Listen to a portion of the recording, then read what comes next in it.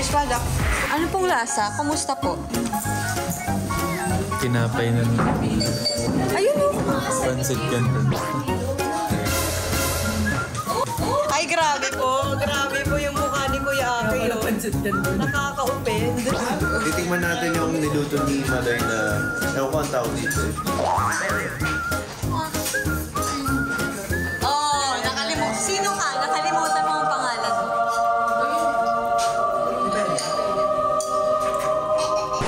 Sarap. I'm super duper happy kasi nandito ako sa US with my second family and I hope makasama ko din yung family ko dito and makakaroon din kami ng US trip.